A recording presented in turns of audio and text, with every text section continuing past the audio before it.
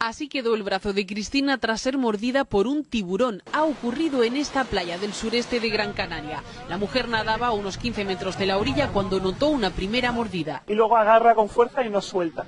Y, y cada vez más fuerte, varias mordidas. Y me giro a mirar y veo que uh, enganchado a mi brazo hay una especie de, de, pez muy grande. Cristina se defiende golpeándolo y el animal termina huyendo y dejándola ensangrentada. La sensación como al principio que me había enganchado unas zarzas o algo así cuando vas en el campo y luego me di cuenta que no, que era un animal y que el animal estaba luchando conmigo. Su experiencia ha causado sorpresa en la zona. Vamos, aquí se baña la gente y no, nunca pasa nada. De hecho, se trata de un lugar habitual para la práctica de buceo. Aficionados y profesionales han podido observar algún otro ejemplar. La especie que vemos aquí en Arinaga es el angelote que es un tiburón de arena, un tiburón muy tranquilo. Según los biólogos y especialistas, el tiburón que mordió a Cristina se conoce como jaquetón. Los tiburones tienen miedo a los hombres. Nosotros estamos en Canarias, no estamos en Sudáfrica o en Australia. Y aquí, aquí en Canarias no hay especies peligrosas. Hace tan solo unos meses, otro tiburón, un angelote, mordía a un niño en Playa del Inglés, al sur de la isla.